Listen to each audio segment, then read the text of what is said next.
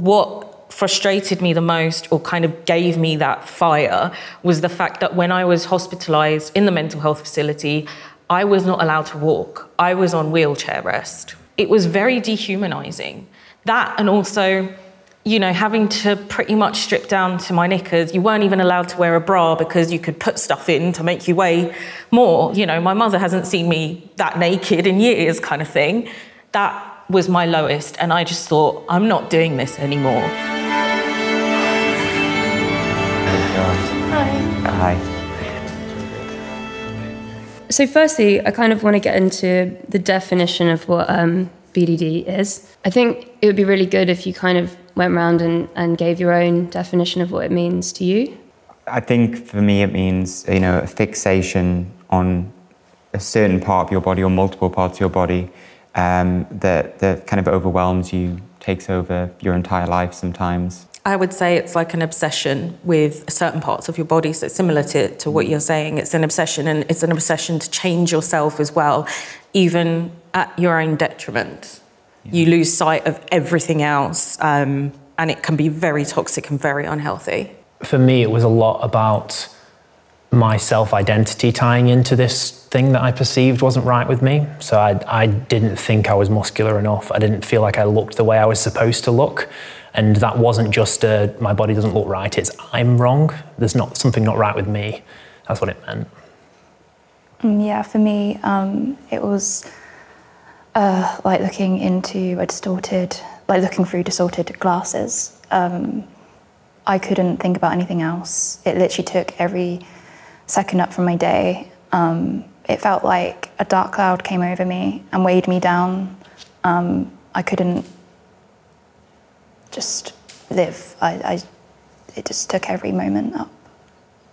For me, it's having quite a low self opinion um, of oneself, um, never feeling like you are enough, feeling like you've got a heavy weight attached to your ankle that you're dragging around that can really take away that spark and that happiness.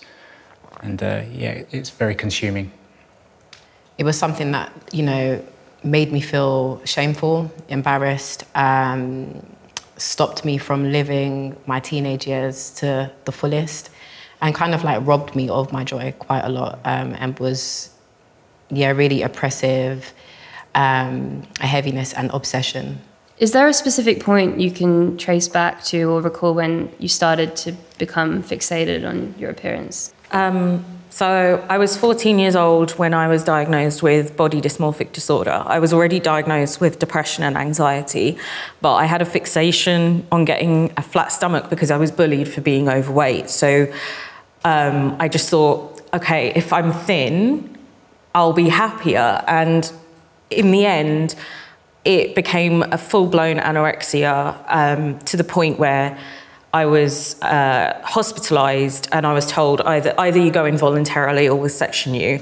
Um, I'm five foot eight, which is 170 centimetres, and at my lowest point, I weighed 33 kilos, which is less than five stone. And uh, the doctors told my parents I had two weeks to live. So the body body dysmorphia almost killed me. I think because of my childhood experiences, just coming from a dysfunctional home, um, had an alcoholic father, um, I was searching for like my identity and I didn't really have anybody to really affirm me and kind of like say, oh, you know, you're beautiful, you know, um, you're loved and things like that um, consistently. So I think that's where that kind of self-doubt was seeping in. Um, the years progressively went on and then i believe i was about 13 and that's when i feel like things started to kick off for me because you're right in um, you know school and you know pressure, peer pressure and body image stuff you know seeps out. And um, that's when i started to become really obsessed with my facial features and just became really self-conscious um, and really obsessive with exercise and just consistently wanting to lose weight because I thought that if I lost a lot of weight, then my face would change. And it's just a never ending cycle. But I didn't actually understand that it was body dysmorphic disorder. So as the years went on, um, I kind of again was seeking validation in unhealthy relationships, and I ended up um, getting into an emotionally abusive relationship. And as you can imagine, um, if you're with somebody that kind of just beats you down like verbally all the time, um, it can make it worse. I then developed bulimia because I was just consistently trying to lose the weight. I was really, really depressed, and that continued to about the age of 21, which is, well, actually 19, which is when I went to the doctors. They didn't really listen. So I went another like two, three years just battling with it and had to literally beg, you know, break down and say, like, look, there's something wrong with me. I really need help.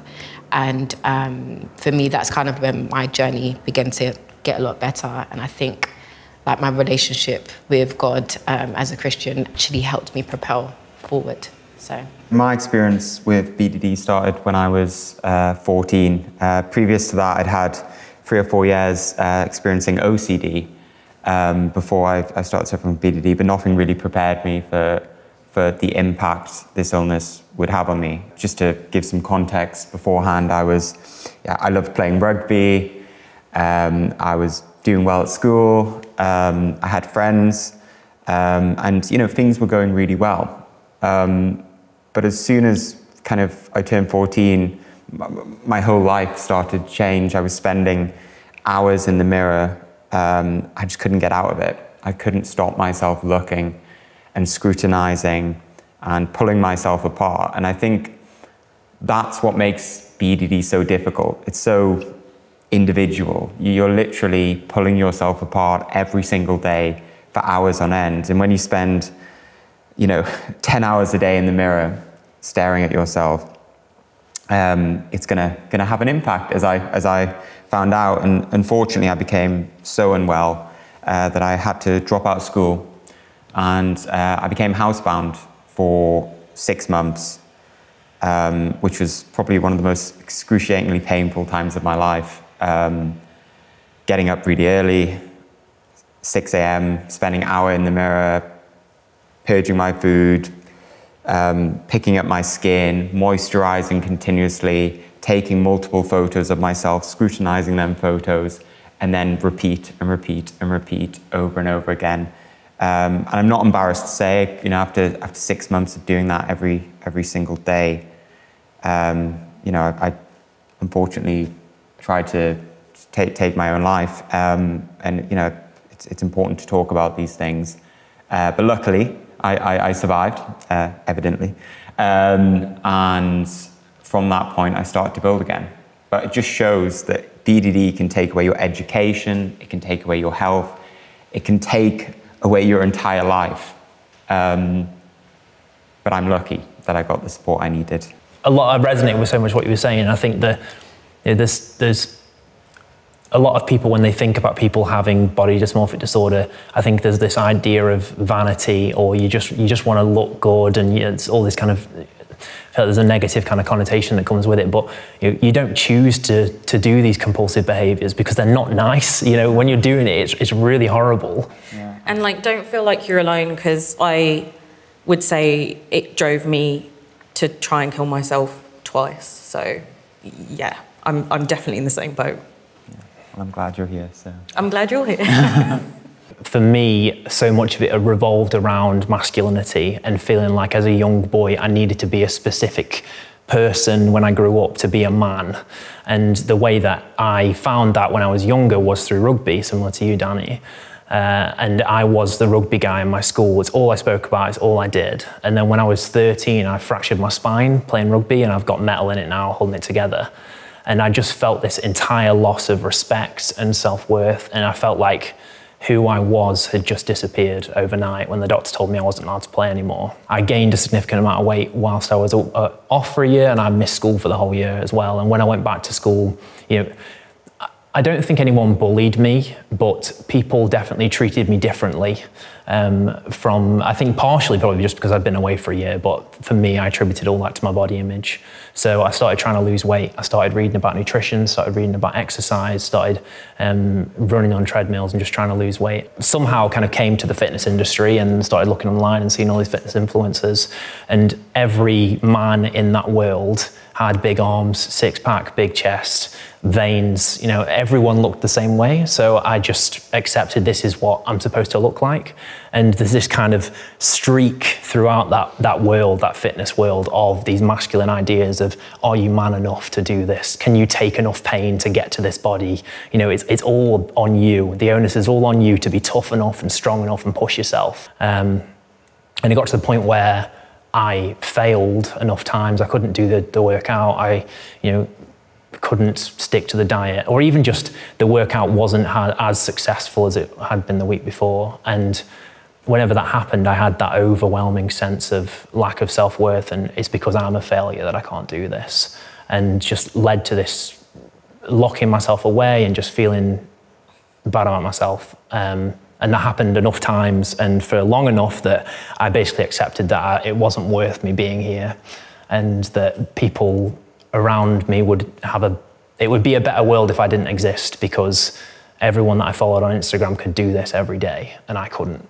Um, I'm not personally religious myself, but um, I always think this was such an amazing coincidence or whatever it was. Maybe it was some kind of divine thing. But one of my best friends at uni came to my house on the day that I was going to do it. Um, oh, sorry. Uh,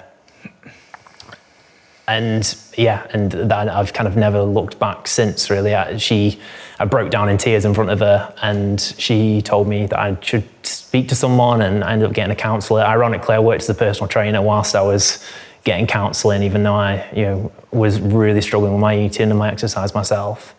Um, yeah, I've done a full story there, but uh, yeah, yeah think it's really interesting what you said between, and I don't know if everyone else feels like this, this kind of division between success and failure, right? Mm. We put so much emphasis on the way we look. You know, if you go on Instagram, you go on Twitter, you go on Facebook, if, that's still a thing, I'm not sure it is. I feel like an old person saying that. But, um, you know, there's so much emphasis on how you look, getting them likes, you know. Mm. And we do associate with success and failure. I don't know what everyone else feels yeah. about that. I, I, thought that my life would be so much better if I looked a certain way. Yeah. And actually, I got to that point and I was miserable. I'd never been that low in my life. I feel like that's the cruelty of body dysmorphia because it's like a vicious cycle. And until that cycle is broken, it's like you're going to be stuck in that mm. loop, like, you know. Um, and it's the obsession with obviously the outward appearance. Um, however, I think something that I've been able to learn, especially like linking to my faith, is that I feel like the character is what lasts longer. So everything within yourself is what's going to last longer, you know, because anything can happen overnight. Something can ha- happen to your physical looks and things like that. And if that's what you're built on, it's not a firm foundation. Um, so I think as I've kind of like grown older and, and healed, that's kind of something that's really kept me grounded. So I would say it was a gradual process. It wasn't like it just happened overnight. Um, I actually suffer with OCD as well um, have done since I was eight. Um, and I'd say when I was around 16, it got on top of me. I didn't really know what B- BDD was. I thought it was about being skinny, if I'm being honest. I didn't, that's sort of a stereotype. I just knew that I had this preoccupation. I fell into this compulsion of filming myself. Um, beauty of having an iPhone, well, not really, is that it's there 24 7. And it became this compulsion where I would film myself up to 50 times a day and then rewatch it and analyze every single frame. Um, and there was a particular day, it was actually my prom. Um, I filmed myself again. Um, all my family were going to come around, and as you do, I was with my, all my friends, and I couldn't go. I had a really massive panic attack. Um, I just thought I looked disgusting and horrible. Um, and then during, I'd say that was like, that was in 2019, um, end of 2019, it got really bad. And then COVID happened. Um, like we were all uh, locked inside. I had all that time uh, to film myself, to look in the mirror. It just got worse and worse and worse um, to the point where I couldn't even be around my family. I would hide my face with hoodies and makeup. Um, I started to use, I would go on social media and compare myself to everyone. Um, I would even search up celebrities without makeup on and screenshot them, and I was, would compare myself constantly. Um, I would search up plastic surgeries to get. Um, I had an app on my iPad where um, I had a picture of myself and I was drawing all the surgeries I wanted to have done on my face. Um, and then there was one night that I just completely had enough, and uh, that was the first time I had a suicidal thought. Um, and I felt really guilty about it. That was the biggest thing. Um, and the thought of telling someone scared me. Um, and I just felt like my parents would worry, obviously. Um, so I couldn't do that. My BDD was centered around my face um, and my nose, especially, and my jawline. And I thought the only way I can control this is losing weight. So that's what I did. I restricted, um, starved myself. I lost two stone within six months, I think. Um, but it was never enough. It just got worse and worse. Um, and then I was in therapy for my OCD at the time. Um, and I thought, I'm just, I just have to have to talk about it. I was really embarrassed, but I just had to talk about it, and I did with my therapist. And she said that, that sounded like BDD. Um, I was, I was relieved because it was like there's something in my head. It was I was just ugly. I was disgusting. There's, I'm not ill. There's, there's not an illness. I'm just disgusting. Um, and she directed me to the BDD Foundation, um, which is where everything changed really for me. Uh, I realised it's it's I have to do the same thing I do to beat OCD with BDD, um, which was starving the beast, not giving to it, cut out the compulsion of filming myself, which was the hardest thing to do. Um, but as I did that, I realised I wasn't grabbing the phone as often. I wasn't even thinking about it as often. Um, and I did ERP, which was terrifying and awful, but is the best thing that I ever did. I met a community on Instagram, um, people sharing their experiences, like you, um, have really helped me. Um, I think that's the biggest thing that's helped me really is knowing there's other people going through it. because um, you feel so alone, and I felt so alone. I was always that awkward kid. I was really a loner. And as time's gone on and I've I've had my therapies in later life and I've reflected back. I've always been that highly sensitive boy. And with being highly sensitive comes that real awareness. I pick up everything, energies, I read people, I, I know how to adapt, I know when to remove myself, I know if someone's in pain, I almost like feel their pain. And that's, it's, it's a good thing, but also it can really wear you down. But I've always been that guy that's aware. Um, but my younger life, I was very much a loner.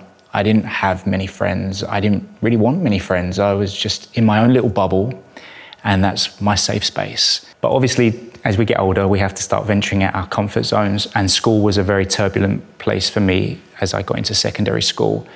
Bullying always being that target because I was always on my own. And if there was an opportunity to go home at lunch, I'd go home with a low self esteem already now because I'd had a quite a rough time, I was really anxious and the anxiety was there and oh my god I've got to fit in again and this is I just wanted to be homeschooled or I didn't want to do school.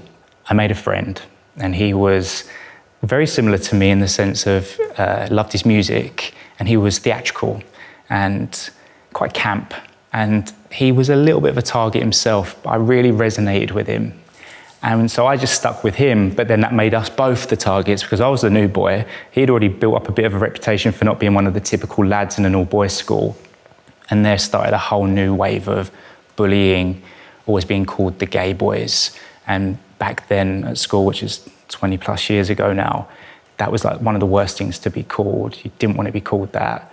And if word got around that you might be a Nancy boy or, you know, not one of the lads, you were the target. So the cycle started again, and this low self esteem was always there.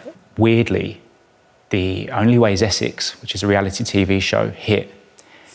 And I became obsessed with that show. It was bizarre to me what it was. Everyone was talking about it. It was this new genre of TV, structured reality.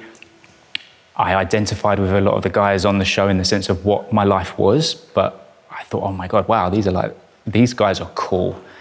And I became really fixated on the show, as a lot of us were. And um, any Towie fans? No? Yeah. No. Yes. Um, anyway, it really was a big thing. They were basically looking for locations to film in. And I rocked up, and long, long, long, long story short, they met me. One of the producers really liked me and found me interesting. Three months later, I get a call, and they say, uh, Would you like to come and uh, meet one of our exec producers? We think you could be quite interested in coming on the show. Like, tell us more about you. My whole life just changed overnight because, by what I've said, I was always in a bubble, and I was always very in control of my bubble. And when I got the opportunity to go on the show, there was that element of, oh my God, this is going to be a moment for me. Everything that I've idolized and wanted, maybe quietly in a fantasy, has just come through my door. And I'm going to give it a go. And I wanted to feel like what these guys were living the dream. I wanted that. So I did it. And with that came hundreds of thousands of people following you on Twitter was the thing at the time. Everyone had an opinion on you. Everyone was talking about you. The show was done in a way that we would film it and two days later it would be out for the public to watch. It was such a quick turnaround. What it did do was it put my image and how I saw myself right at the forefront because I was in this very unique bubble. It was very competitive. Everyone wanted to look a certain way. There was this high glossy approach that everyone wanted to have that perfection, the bodies, the tan, becoming obsessive about fake tan, um, muscles, getting the photo shoots, looking at, they'd run polls about who your favorite cast member was. And if you ranked low, I'd see it and I'd be like, oh my God, like why people don't like me. And it brought back all those feelings of that young boy that didn't feel liked or wanted. So what can I do? I need to up my game. I need to get this pressure on me and I want to be one of these. I want to be like the best because I always had that in my in my head. People were like, "He's gay. He's gay. He's gay."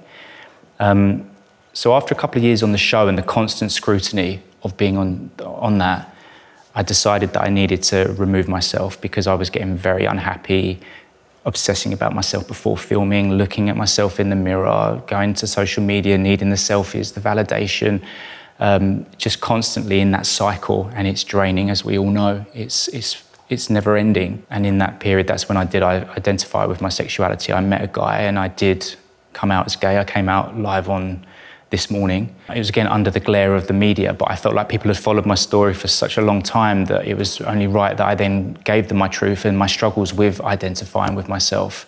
But then with that and my nature embarked on this whole new chapter because I was now 30 years old, just come out, never had a relationship in my life, never had intimate relations in my life. And all of a sudden, I'm this gay guy in the public eye, and I thought I needed to be Mr. Jacked Up Muscles physique because I didn't want to be seen as less than the man that, you know, I wanted to be seen as Mr. Masculine still, because there was this, this internal homophobia, I would say, towards myself. And so I went on that mission, and it was all about the magazines of looking at all these guys that had the washboard stomachs and the big muscles and the tats. And hence, I did all of this. I went on this total rebrand. We go into that COVID period, and during that COVID period, I was on my own, which was a dangerous thing I didn't realize at the time, but I thought that's what I needed to do. But in that year window when we were all housebound, the mirror, the social media became the enemy to the point where it was hours every day looking at myself, getting a pencil, drawing on my nose, and I became obsessed with my nose that I felt like I had to change it because it was still too big for my face. It had a dent in it. Um, if I've been this successful up to this point with this face, imagine what it'd be like if I was totally confident with that straight masculine nose. As soon as we came out that first lockdown, I go to Harley Street, I go and see a top surgeon. He looks at my face, he says, Your nose is too big for your face proportion wise, you're a good looking boy, but the nose, we can make you better. I was like, yes, you validated my insecurity there. Sign me up, get me on that table, fix my nose. no real duty of care to that apart from, yeah, you can make me better because I was in a vulnerable place. And so I did, I did the surgery. The surgery went wrong and the surgery was a disaster. And there started a whole new chapter, but I think I'll leave it there for the minute. But it got me to the point of plastic surgery without any real intervention. And I was about to embark on a chapter then, which was where it all came to light and why I'm sitting here today. A few of you have mentioned that, like, I suppose BDD is often linked with or, or, confused with like eating disorders or other mental health conditions. And do you think you could kind of like talk about how they might interact? For me personally, um, I was diagnosed with depression, and that obviously you, I felt such a low kind of self esteem, low self worth. Why am I here? Why was I born? I don't sort of deserve to exist. And then that sort of fueled the fire that became BDD because I would then look at myself and it was almost like looking in the mirror validated all those things that I'm not worthy and that kind of thing. That kind of triggered me into okay, maybe my life will be better. Maybe I won't be so depressed if I lose weight. And then my focus was on my stomach my thighs because I thought they were too big. Um, and even at a size zero, I thought I had thunder thighs. I thought my stomach was, you know, like that of a whale. So for me, my mental illnesses really contributed to getting BDD because I had no self esteem, I had no self worth. And also being diagnosed, it can be quite triggering, being told that you're going to be on tablets for the rest of your life because you have a lack of serotonin. That in itself is a lot to take on at the age of 14. So for me, my mental health kind of fueled the fire, but I know it's not the case for everyone. I just, it's exhausting even thinking about it. It's almost like trying to, being surrounded and trying to fight on all fronts. Um, and, and continuously just being bombarded with different emotions. I, I, I, remember when I was experiencing BDD, just just feeling differently every single day. You know, one day I felt really anxious, the next day I'd be really depressed, probably because I've zoomed in on my appearance, or you know, and, and the next day I'd be purging my food, which could be linked to an eating disorder. It wasn't, but it could be linked to an eating disorder. So yeah, it's, it's so complex. I don't know if everyone else feels that way too. Like actually understanding it yourself and getting your head around it is, is very difficult. I think for me, OCD makes me really anxious and I have to do the compulsions to sort of stop that anxiety feeling. Whereas with the BDD, I just felt so sad and depressed. And like I said before, weight is just on me and pulling me down. I just cried all the time. There was like a difference um, between the OCD and the BDD. I think with eating disorders, I think um, you can have an eating disorder and have BDD. And I think that's where people get sort of confused is that BDD is a separate illness. Um, just like OCD is to BDD, they can be very similar and they can have they can sort of intertwine with each other, but they're separate. Some researchers saying that it should actually be a form of eating disorder um, because some people's experiences, the eating actually is the primary issue. I think that muscle dysmorphia itself exists in that idea that the, the criteria within the diagnostic statistical manual says that it can't be aligned with body fat and it can't be kind of aligned with disordered eating or, or eating distress. Um, and I think that exists for some people. For, for me personally, mine did align with body fat and mine did align with eating distress. Because I was so obsessed with trying to lose weight, um, I would literally restrict myself from eating. And, you know, on days where I was super hungry, like I'm, you know, going out with friends and then coming home and I'm throwing up in the bathroom, nobody knows what I'm doing and stuff like that. And um, it was because I was so obsessed with wanting to lose the weight and then feeling the guilt of just eating food. I felt so guilty and I thought, oh my gosh, I'm, you know, my progress is gonna, you know, be destroyed if I eat a plate of food when, you know, it's probably just like a fraction of my daily intake, um, but the guilt was always there. So I feel like they they were simultaneously happening at the same time. But I definitely believe that body body dysmorphia was the first thing that I was experiencing, and I do think they're separate. Mm. Do you think it's a common thread that we all need this element of control on what we're doing, Absolutely. and we have to be consumed by that control to almost tell ourselves that we are in control of what we're doing and we're actually okay. The issue with me, I don't know if any of you guys suffer from this, but I've got an acute case of perfectionism. So it's kind of say, like, um, yeah.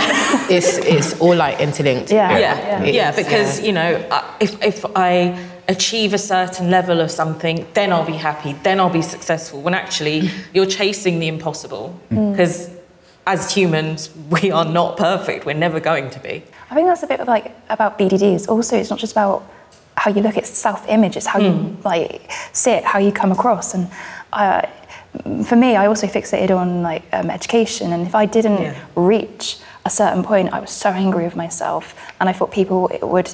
It's, it's, it is the image. It's like how do people perceive you?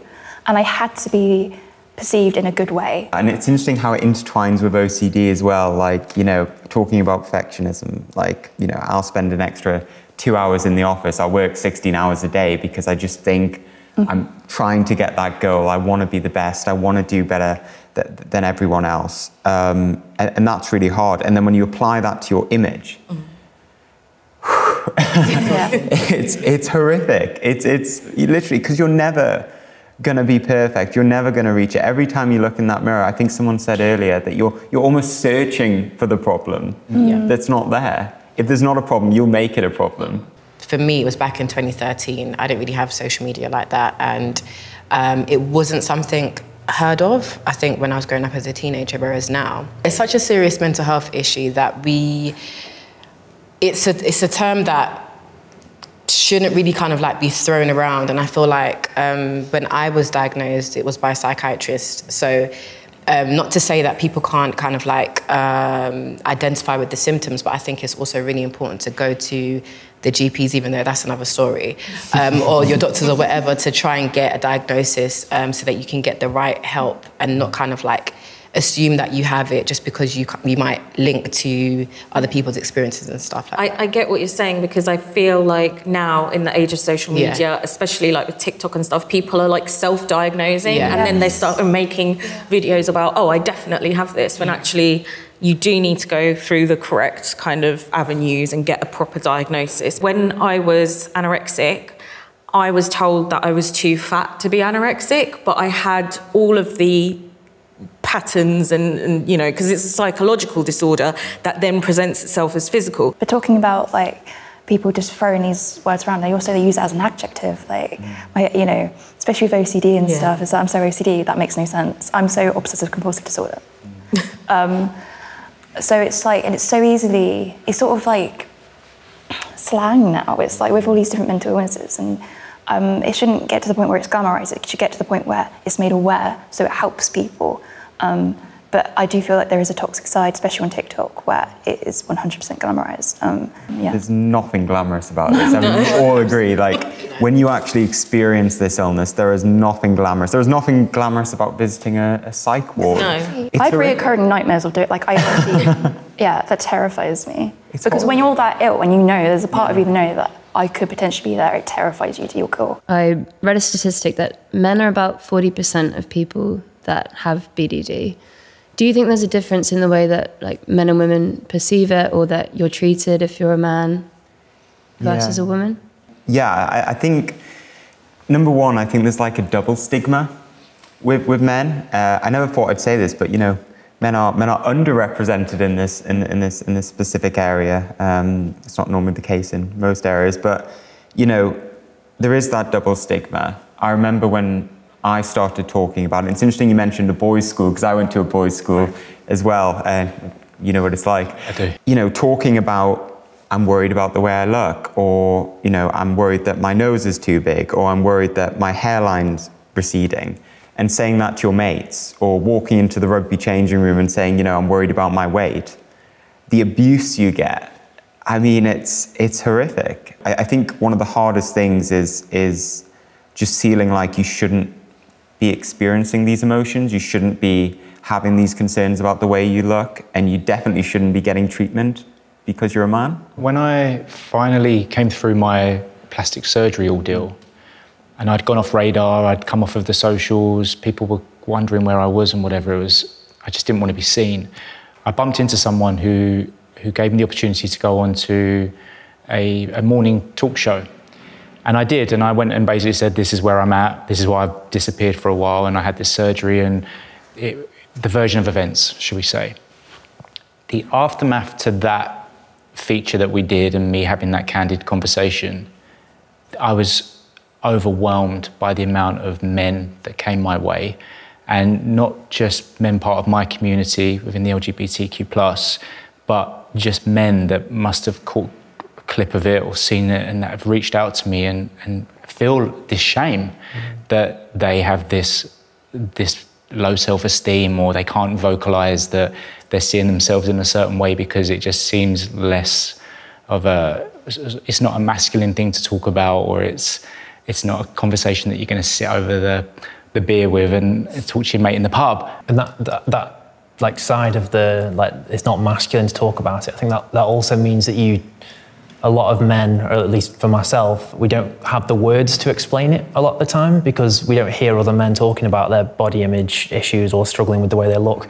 Other than, you know, I, work, I went into like the bodybuilding world, and in that world, everyone talks about how much they dislike their body, but it's in this way of everyone talks about iron therapy and you're lifting weights so you're getting better, but no one ever spoke about it with the context of maybe you're not getting better.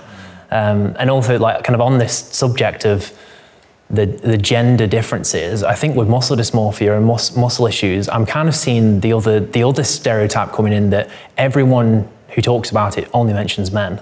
And there are there are women who and any gender who also experience this idea of muscularity. You know, fitspiration for women is such a huge thing now. It's like marketing. It's the fact that when you watch these adverts on the TV or you see these m- magazines, whether you're a, no matter what your gender, you're going to look at something that captures your eye, and you want to almost look at that and be that, and you want to feel it because it's kind of sold to you that if you're like that, you're going to live this like powerful ultimate life.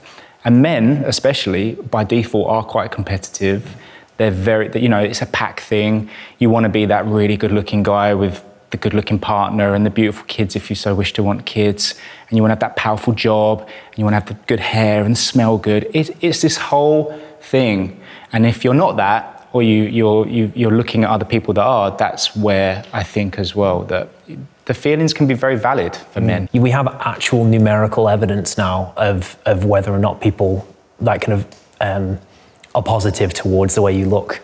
You know, and, and the, the issue is that it isn't actually necessarily linking to actually how attractive they think you might be. Some people just like for the sake of it. But for me, how many num- how many numbers I got below my picture directly linked to how good of a person I was that week. I, I think we do have a responsibility, and I've I've tried to use my social media for good mm. uh, to show that there are two sides of the same coin, and it's not all roses and you know I'll post pictures that I don't even like of myself because I'm, I want to be real. You know, I'll do a no makeup selfie, even though I know that I feel vulnerable doing it, but then I know that it's not natural to wear makeup yeah. every day for, you know, 12 hours a day or whatever. And that's the same with filters, I think. Yeah. Like, I've been very mindful of not using filters. In fact, actually, weirdly, during my BDD, when I was really bad, I actually would post without filters because then I thought that's my real self, that's how I get validation. Mm. Um, but I also think now, like this day and age, especially on TikTok, the filters uh, just look so real, and you don't really know if it's real or not. So people just scrolling down are going to think, "Oh, that's why am I not like that? Why do I not look like that?" Um, so I make it a very conscious effort. I don't use filters because, like you said, it's just being real. Like I'm human. I have pores. I have discoloration and texture, which is a normal human mm. thing, and it should be celebrated rather than be fixed. Like nobody has smooth skin. That's just not a reality. I think. I um, definitely agree with what you're saying. Like authenticity, mm. embracing imperfections. I think that is where um, the change happens because I think if you can show up as your authentic self, okay, yeah, you have the imperfections, and you being able to walk in that vulnerability, which is not hard. It takes courage to do that. Mm. But I think when you show up as your authentic self, just owning who you are and how you are, it allows others to be able to do the same. And I think that's literally like a central message that I try to, yeah. um, you know, share with others because yeah, there's power in that. Yeah. I want to talk now about um, your individual journeys to recovery, starting maybe at your lowest point and the decision that you made to, to seek help or what helped you move on um, and start to take those steps. Sure. Whenever I couldn't stick to my diet or my exercise or whatever it was that I was doing, I used to lock myself away in my room because I was so ashamed of people seeing me behaving in that way. Or I just, so I felt like people would be able to visually see that I wasn't doing what I was doing, even for if it was for an hour. And yeah, that kind of spiraled to me just not speaking to anyone and just spiraling on these emotions and these behaviors and getting to the point where I was suicidal and planning on on doing it. And I was very fortunate that my friend Cara came on the day that I was planning on taking my own life. And she spoke to me, and, and I ended up kind of breaking down crying with her in my living room.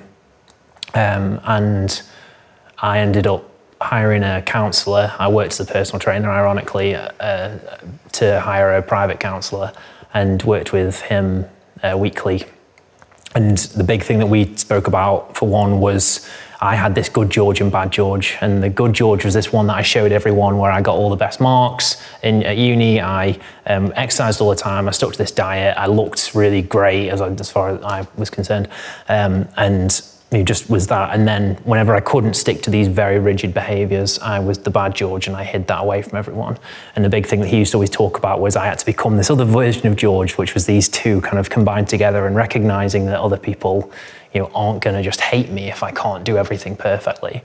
Uh, I did this podcast with a psychologist, um, Amy Ozeki, her name was. I've always pronounced her last name wrong, so I'm sorry, Amy.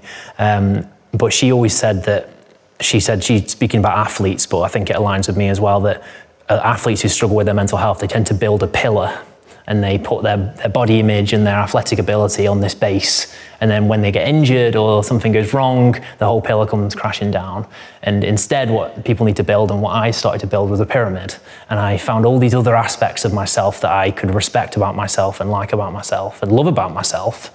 And then if my body doesn't look how I want it to look that day, I can take it away and the pyramid's still standing. Yeah, so I, I remember when I hit my rock bottom. Uh, it was a it was a rainy day in Newcastle. Would you believe it? And uh, I was I just lay on my bed and I just couldn't do it anymore. Um, you know, it almost felt like I was just being constantly battered by waves um, for every hour of every day. I, couldn't spend ten hours in the mirror anymore. I couldn't, um, you know, take that many photos and rip myself apart. I couldn't purge my food. I was really weak.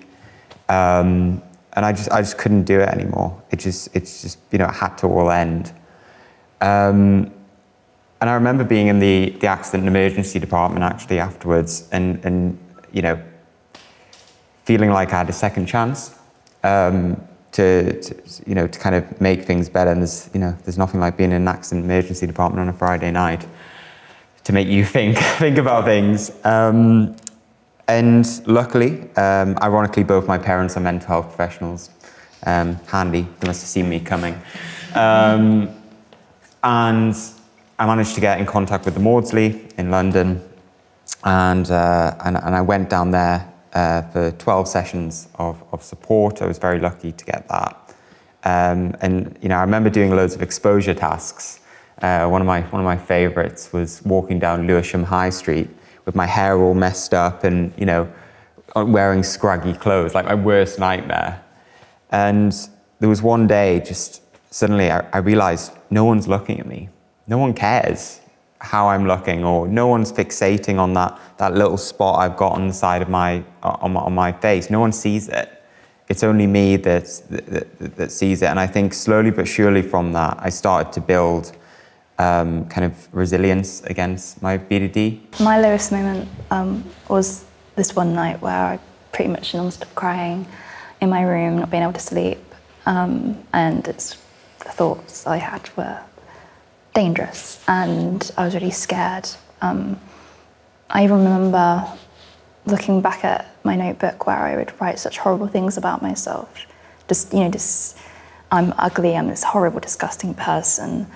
Um, when I video myself and I'm crying videoing myself, I, I think that was probably the lowest part because it's a video of myself and I'm crying because of the video that I'm taking of myself. It, and it, to other people, it just it sounds ridiculous. Um, I needed help, so I got the help I needed because luckily I was in therapy for OCD. But the thing that really helped me was bit like you, um, exposure therapy, um, going out the house without any makeup on, um, not curling my hair, wearing clothes that weren't really put together, things like that. Um, and finding a community on Instagram, especially. Um, finding the BDD Foundation completely changed the game for me. Um, I'm so thankful that I really don't think I'd be here actually um, if they weren't here. That's the importance of advocacy, the importance of there being resources out there, knowing that there's so many people feeling how I felt at my lowest moment right now is it it's, makes me angry, it makes me sad, it makes me want to, to talk about, scream about it, and um, that helps me as well, speaking about my experiences, and I will continue doing that. Um, yeah. I think my turning point was um, going to have cognitive behavioral therapy at the Maudsley as well. Mm. Um, we did a lot of exposure therapy, um, which was super scary because I think for me, that was my last resort. I'm like, if this therapy doesn't work for me, then I'm finished. Um, but I'm so grateful that it actually did. And then I actually became a Christian. So I gave my life to Jesus. And I think my faith has been a solid foundation for me, which I've been able to really understand and find identity in. And that has really kept me grounded. So I'm really grateful for that.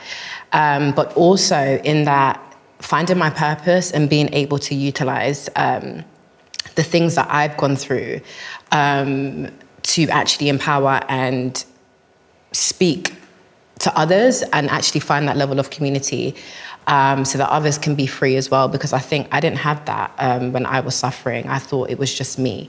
And so I always believe that you don't go through um, the suffering um, without it turning into something great when you have body dysmorphic disorder, it doesn't feel like there's any way out. You feel quite stuck. Um, but we're all sitting here today, you know, there's a camera rolling, um, and that shows that there is a possibility and there is hope for the future. And so I think I've been able to find purpose and um, joy in being able to heal, but then also be able to share that with others, which keeps me going. I went through the plastic surgery journey, which obviously didn't go to plan, and that was the biggest wake up call because I had this idea of what it was going to do for me, and I put all my trust into this amazing doctor that was going to make me feel the best I've ever felt, and obviously it went totally the wrong way. But in what you've just said, like through those hardships and, and that lesson that I've had to learn, it really made me stop and think, hang on a minute, this is out of control. And now I've gone to the point of having plastic surgery that's not given me the result that I wanted. And it's not even just the fact I didn't like what I saw, there were issues with what he had done and the healing process and whatever. So there it was on my face. I had to live with it. And I thought, what, what do I do now? Because I can't cut it off and I can't do anything anytime soon to rectify it. So I have to live with the choices and the decisions that I've made. I got the opportunity to speak publicly, which then opened up that whole floodgate of people coming forward to me, which again shows that we're not alone and that's powerful. Mm-hmm. I felt reassured.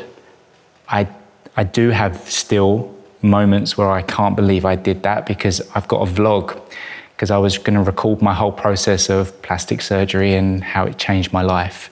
Well, it did, but not in the way I wanted it to. And I look at the guy that's filming the morning of his first surgery, and I look at him and I'm like, why would you even touch your face? That is absolutely fine. And that was a pivotal moment when I was then sitting there with my bandages on after having a third uh, surgery, thinking, oh my God, I need to, this guy's, is, I need to find him again. I need to find the guy that actually is more than just about a nose or his image. We're in a very fortunate position that we can sit here strong and come together collectively and find these common denominators, and that will really help people. So there is such a light in that comes from these dark places, and I think that's just really reassuring. So that's I keep that in the back of my mind, even when the demon starts creeping in And as we all know, it creeps in from time to time. So that's where I'm at. I just finished my AS levels and I said to my parents, okay, I'm going to get better. I'm going to defeat the anorexia. And I started going from, I would say, 300 to 500 calories a day to just eating 500 plus just for dinner. So I was really committed. However, there's something that happens when you're starved so long. It's called the refeeding syndrome. So your body doesn't know what to do with all this energy that you're giving it. So you start losing weight dramatically. So um, I was then, I was under CAMHS um, and they said, either you go to hospital voluntarily or we'll section you. So I was in general hospital for 10 days where I lost about seven kilos, even though I was on bed rest. There was finally a place for me at a mental health facility in Oxford, which is about 60 miles away from where I live. Um, and I had to be an inpatient. And I think my lowest point was when I was checked in. So I used to keep uh, I used to take pictures of myself because I was so angry at the anorexia and what it's robbing from me. So I have these pictures from when I was my sickest. And what, what frustrated me the most or kind of gave me that fire was the fact that when I was hospitalized in the mental health facility, I was not allowed to walk. I was on wheelchair rest. So even if I wanted to use the bathroom, I had to wait for a nurse to take me in a wheelchair. I was pretty much I was not allowed to stand up. I had to sit down at all times. It was very dehumanizing.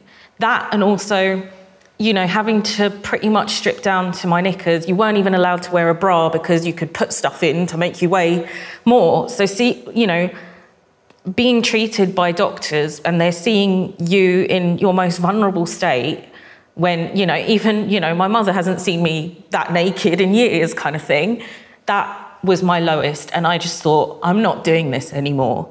I do sometimes look in the mirror and think, mm, you know, but then I, I don't let it hold me back because I'm like, the alternative is where you were when you were 16, going back to the mental health facility, being that ill. You know, I'm kinder to myself. Again, I don't know if I'll ever love myself. That is a journey I'm exploring through therapy and such, but I accept myself, I forgive myself, and things could always be worse. And now, you know, I've helped so many people through doing media appearances and writing articles about my journey that it would be very disingenuous to, to go back to that. Um, there's not a lot of um, stories about women of colour who have you know, had mental health problems or eating disorders and such. And I don't want anyone to go through what we've all been through. You know what's so inspiring about all of you guys? You know, you've all used your experience to then help others. Like every single thing that you've done has inevitably prevented someone else from experiencing the same things. Honestly, it's amazing. So well done. What would be the, the early signs to look for in yourself or in a loved one um, that they might be they might have BDD or developing BDD, and, and any advice you'd give to those people? Muscle dysmorphia is kind of a uh, maybe special case to some degree with this, to, uh, at least in the I think the the type of person um, that we see in the research in muscle dysmorphia that people tend to kind of lean in towards, and obviously I don't want to stereotype, but at least from the averages we see, um, there's this idea of vulnerable narcissism. Vulnerable narcissism is where someone deep down feels that they're not worth it, they're not, they're not enough. With, I suppose, with body image things in, in general, people think about vanity, people think about you just want to look attractive. But trying to look past that and recognize that for some people, this is all their insecurities manifesting in something that you then define as they just think they're the best. And that's really, really tough to, to spot, but something that people need to be kind of careful of. And then obviously with muscle dysmorphia, there's the compulsive exercise behaviors and kind of pulling yourself away from social situations, not going to parties and, and things because you're, you need to, you feel like you need to exercise. And people in schools often have told me, there's one story that um, a teacher told me where they went on a school trip to France and they had an hour window where the kids were allowed to like explore Paris. And one of the kids and a, a few of the boys Googled where the gym was, the nearest gym, and went and trained for the hour. Um, you know, obviously, I don't want to say that they definitely have muscle dysmorphia, but those are the kind of signs where you know it's that desperation. That I've finally got a moment. I have to do this. Um, those kind of things are stuff people need to look out for. I think also being a fitness professional as well and being around people that are obviously trying to improve themselves, they come into the gym and they think that you know you're going to help them achieve the goal. Um, I've come up against so many people that you'll say something like, "You're looking good today," or you know, "You're looking stronger," or some positive chat, and the first thing they do is, "No, absolutely not," or they'll pick out the flaw. There's one person I know that you, you know, before you've even said hello, I've got a terrible spot on my face, and like I just they need to highlight it first before you even engage in a conversation because that's obviously on their mind that they've got that and they're aware of it.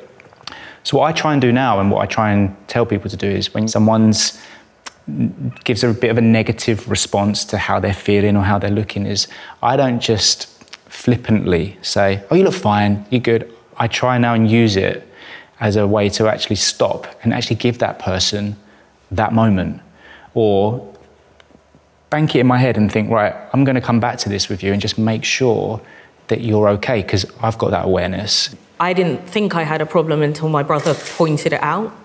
And he said, You're punishing yourself for eating a piece of fruit. Like, what's going on? And then he told my mum, and my mum got me an appointment, and the doctor said, Okay, yeah, you've got BDD, you've got anorexia, that kind of thing.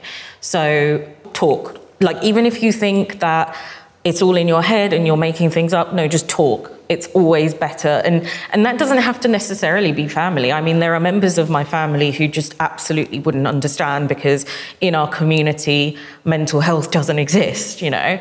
So sometimes it's friends, sometimes it's peers, sometimes it's a stranger who just notices something about you, like you said. I would say preoccupation. If you're spending a lot of time looking at yourself in way, one way or another, another um, I mean, like sort of that sort of thing. Um, I'd say maybe talk to someone, like you said. Um, but it's the time spent, I think, on your appearance, and it, that goes into how much you think about it as well, not just looking in the mirror or taking photos. It's the the mental side of it. Um, I mean, I spent pretty much 24 hours a day thinking about it. Showed up in my dreams, and um, I think that's something to look out for. I think patience as well. Like if you think your child or someone is experiencing, you know, body image difficulties, whatever they may be, whether it be BDD or not, just having that patience to listen to them and not get frustrated. Again, going back to the whole backstory thing and how my my bullying and that low self-esteem really was the, the version of events that led to BDD and this this real struggle with my mental health in general. I think if we can get into the schools and in, into like those um, environments of like educational environments early on when the, when the kids are impressionable and teach them about whether it's the filters and marketing and what they see might not be real or if they are having showing symptoms of eating disorders or affected by their body image and its, its impact on their mental health, then starting those conversations early or at least letting them understand to a point that what the help could be or where they could access help and support, I think could be a real game changer in the long run. It's amazing to hear all that, guys. One more question. You could say something to your younger self. What would it be? I would say to my younger self that you were just a kid and it's not your fault and just things get better. Your life, you know, 14 years later is pretty damn amazing. And just maybe don't love yourself because you're not there yet, but learn to accept yourself for who you are and everything's going to be okay. That's, I just, you know, I'm doing some work in therapy um, and I just really want to go to my 16 year old self and give her a massive hug. I'd say just, just be you. Um, I think it's, it's e- uh, easier said than done, I'd say. Because um, I wasn't me at, at 16 years old. You mentioned a robot. I, I, think I was a robot. You know, I felt like that. I was so routined. Everything was out of control.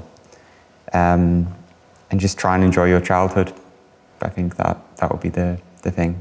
Yeah. Best made plans. I think I would say to my younger self that you're enough. Mm. And that's it. You're enough. yeah, I love that. Absolutely. Um, I think that if I looked at my younger self, I would probably say don't be the island that you think you need to be. You just hadn't found your right people. And you shouldn't ever let anyone dull your spark because there are people out there that want to see you shine. And just because I was being maybe put into situations that were difficult for me at times and that wasn't letting me be my true self, I, I would just like to give you that reassurance, Charlie, that your right people are out there and they're going to make you shine and you're going to have a great life. So just buckle up. It's going to be bumpy, but it will be good. I actually, part of my therapy was hanging up little pictures of little me and sticking them up everywhere. Um, and she said to say the stuff that you say to yourself to that picture. And it just made me cry because that little girl, I would never, ever say that. I wouldn't want her to feel the way that I was making myself feel. Um, so I'd literally just say that you're beautiful and amazing, and that's not about your appearance, that's just who you are as a person, um, and give her the biggest hug. Um, and also probably tell her to, you know, not wear too many Disney princess outfits out, but yeah, that's what I would do. I'm kind of struggling with this. I had so much time to think of it, but I feel like uh, something I was so obsessed with when I was younger, when I was struggling with this stuff, was that I thought everyone else knew how life worked and knew how you're supposed to do all these things to feel good about yourself. And it just came natural to everyone. I thought everyone just got it. And I was just this confused and scared person that was latching on to whatever he could to try and prove that he was something. I guess I would tell myself that no one's got it figured out and, and that's okay.